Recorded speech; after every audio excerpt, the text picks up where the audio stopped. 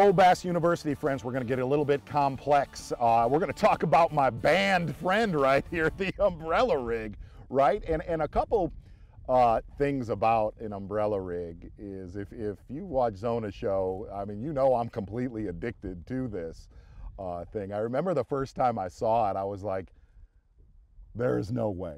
There's no way fish bite that thing. We have grown up in bass fishing such little attention to detail that you look at this and you're like, are you honestly, are you kidding me? That it's like a, a goth like like contraption, something you'd see at a rave. Um, the the deal with an umbrella rig is, and I mean this sincerely, people that say, I'm not going to throw it because all you do is throw it out and reel it in and you catch them. That is absolutely false. Okay, that is not the case with this thing. Um, I have done a lot of trial and error with umbrella rigs, learning. Number one, it does catch, to me, it catches the biggest ones that swim in your lake, okay? Whether it's largemouth, whether it's smallmouth, whether it's spotted bass. But the main thing about an umbrella rig, here's what I've learned about it is, it, you have to have the right forage base to catch them on this thing. Shad, alewife, emerald shiners, something that is, I'm going to use a deep word here, pelagic, um, something that swims, that has to be in your lake. Here's what I found with this. I don't catch them hardly at all on an umbrella rig where the primary forage is bluegill. I don't know why that is, but those lakes, this thing sucks. But if there is bait fish present, if there's bait fish present, that's when I know I can catch them on a rig.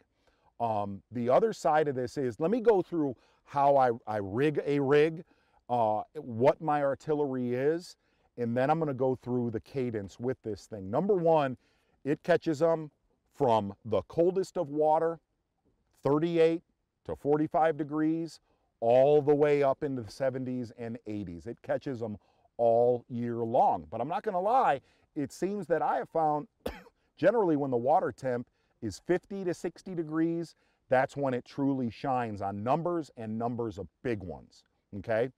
Um, the other side of, of, an umbrella rig is I've gone through blades, no blades, and I, look, I don't, I don't use blades. I just do not use blades. On all of my, the umbrella rigs I throw, uh, it, number one, it is no blades. The other side of an umbrella rig, I, I keep it very, very, very simple. 3 16th ounce heads, go. Don't worry about eighth ounce, quarter ounce, 3 16th ounce heads. I could fish in a foot of water. Ooh, we're gonna talk about that in a second.